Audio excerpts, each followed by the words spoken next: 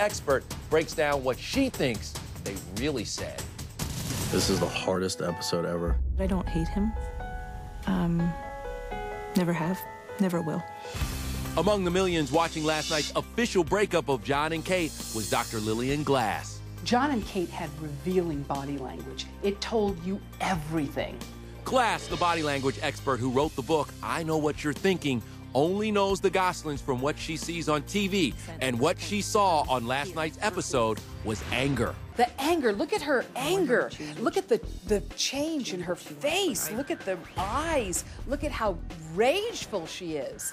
And see that? What he does with his hand like that? That's anger. Look, he's making a fist. And look how she shakes her head. No, my kids matter so much to me. No, I matter more.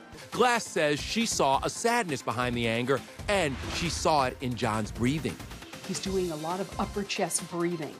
He's really upset. You see a lot of hurt. She's devastated. She doesn't want this. You see her move her fingers back and forth. It shows that she's just very uncomfortable. The children are showing discomfort too, according to Glass. We having a wedding because this is my um, boy. Wow, is this powerful? We're having a wedding because this is my boy, and they're holding hands because that's what they want for mom and dad. They want them to have that wedding. Daddy, be quiet because we're doing the interviews.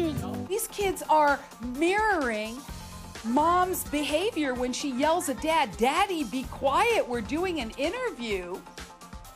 Uh, I'm in shock.